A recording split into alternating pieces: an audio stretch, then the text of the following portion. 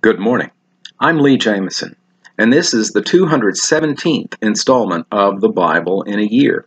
Today's reading is from Psalms 68 and 69 and from Romans chapter 8, verses 1 through 21.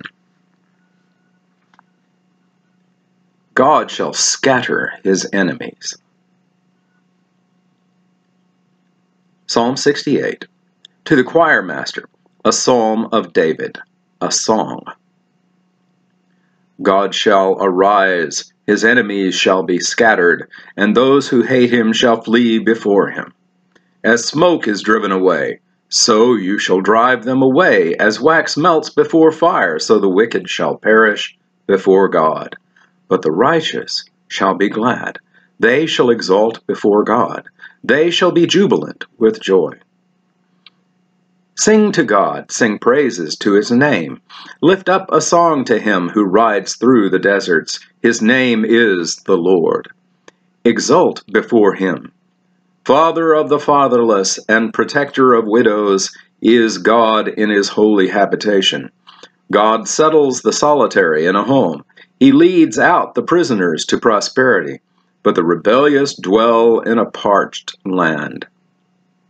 O God, when you went out before your people, when you marched through the wilderness, the earth quaked. The heavens poured down rain. Before God, the one of Sinai, before God, the God of Israel. Rain in abundance, O God, you shed abroad. You restored your inheritance as it languished. Your flock found a dwelling in it. In your goodness, O God, you provided for the needy. The Lord gives the word.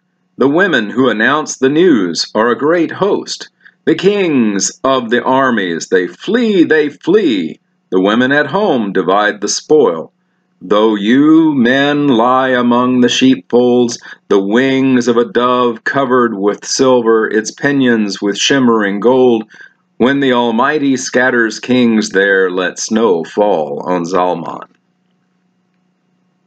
O mountain of God, mountain of Bashan, O many peaked mountain, mountain of Bashan, why do you look with hatred, O many peaked mountain, at the mount that God desired for his abode? Yes, where the Lord will dwell forever? The chariots of God are twice ten thousand, thousands upon thousands. The Lord is among them. Sinai is now in the sanctuary. You ascended on high leading a host of captives in your train, and receiving gifts among men, even among the rebellious, that the Lord God may dwell there. Blessed be the Lord who daily bears up. God is our salvation. Our God is a God of salvation. And to God the Lord belong deliverances from death. But God will strike the heads of his enemies the hairy crown of him who walks in his guilty ways. The Lord said, I will bring them back from Bashan. I will bring them back from the depths of the sea, that you may strike your feet in their blood, that the tongues of your dogs may have their portion from the foe. Your procession is seen, O God, the procession of my God, my King, into the sanctuary. The singers in front, the musicians last, between them virgins playing tambourines. Bless God in the great congregation. The Lord, O you are of Israel's fountain.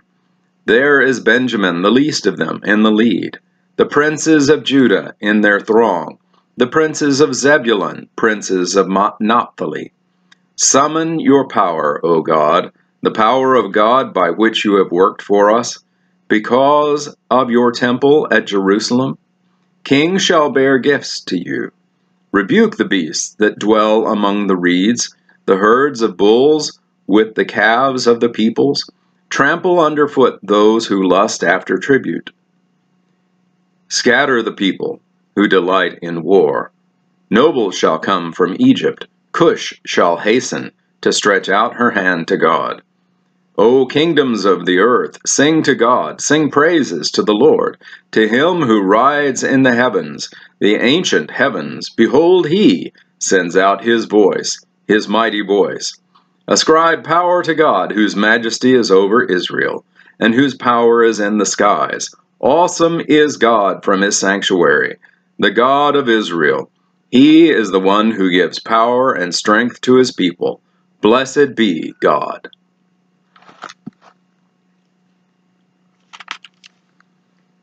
Save me, O God. Psalm 69. To the choir master, according to the lilies of David.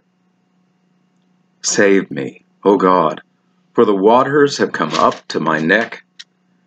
I sink in deep mire where there is no foothold. I have come into deep waters, and the flood sweeps over me.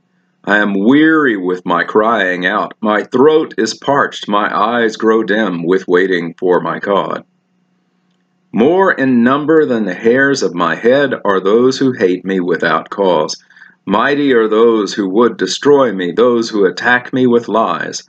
What I did not steal must I now restore. O God, you know my folly. The wrongs I have done are not hidden from you. Let not those who hope in you be put to shame through me, O Lord God of hosts. Let not those who seek you be brought to dishonor through me, O God of Israel.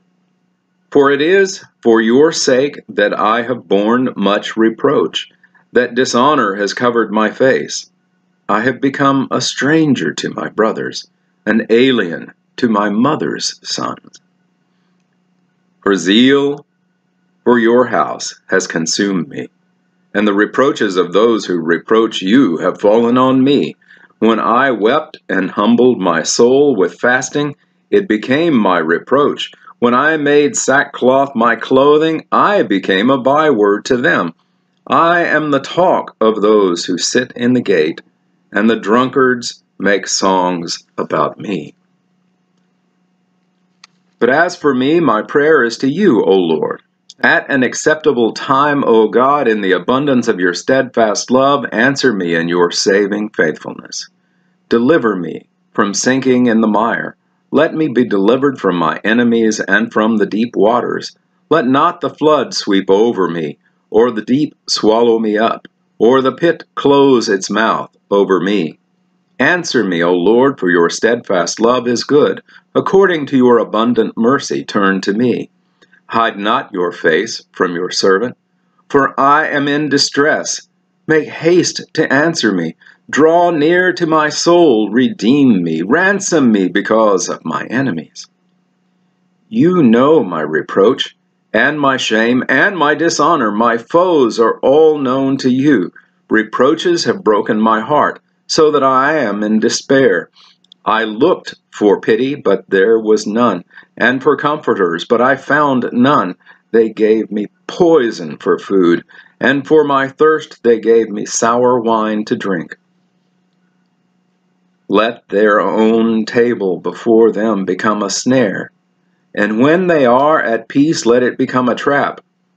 Let their eyes be darkened so that they cannot see, and make their loins tremble continually.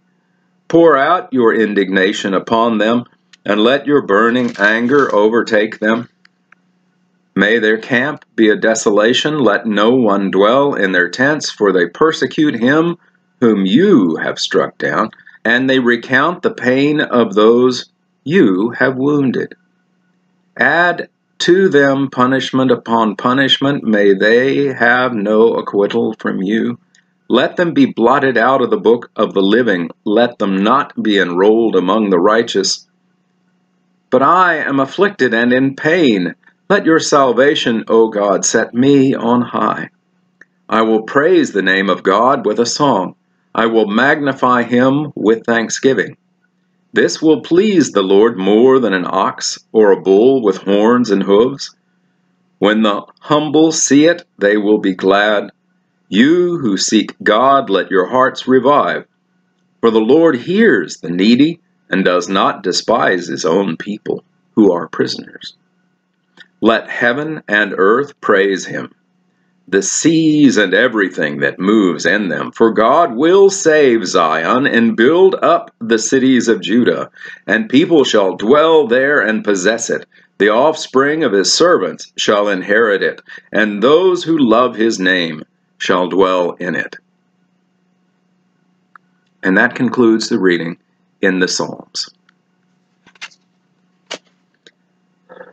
And now, Romans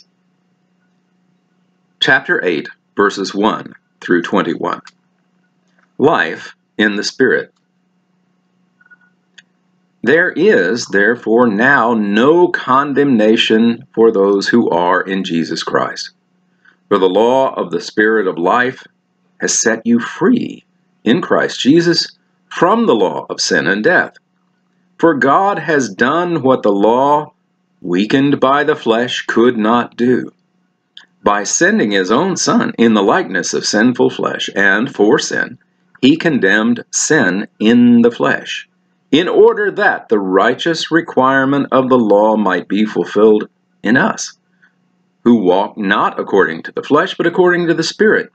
For those who live according to the flesh set their minds on the things of the flesh.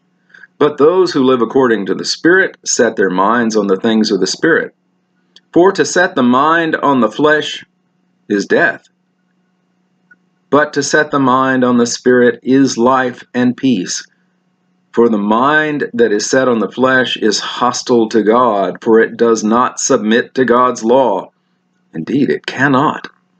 Those who are in the flesh cannot please God.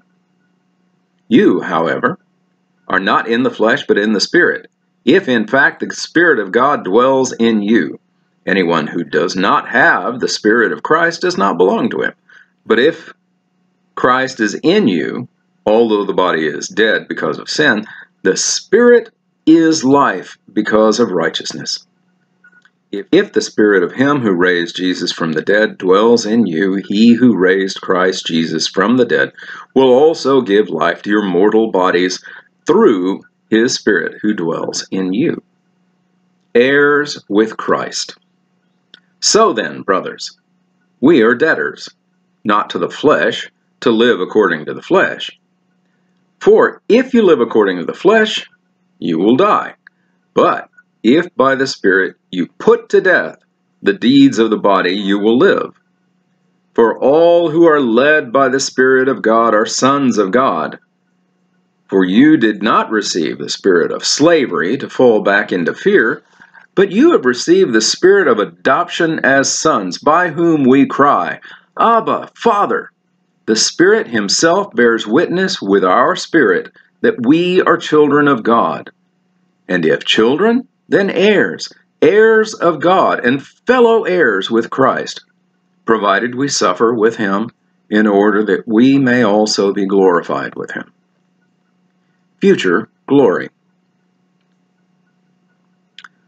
For I consider that the sufferings of this present time are not worth comparing with the glory that is to be revealed to us.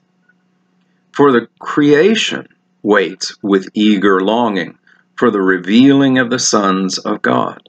For the creation was subjected to futility, not willingly, but because of him who subjected it, in hope that the creation itself will be set free from its bondage to corruption and to obtain the freedom of the glory of the children of God. And that concludes the reading in Romans. Thank you for watching this video all the way to the end. To gain a wider audience for this series of videos, I ask a few favors of you. First, please like the video and subscribe to the channel. Uh, you can also click on a bell icon and that will make sure that you receive notifications when new videos come out. Then, if you have comments or questions, uh, even if they're critical, I want to hear from them. Be civil, of course. Uh, the YouTube algorithm rewards videos that receive audience participation. So uh, I appreciate your input. You are a part of this channel as well. Thank you and have a blessed day.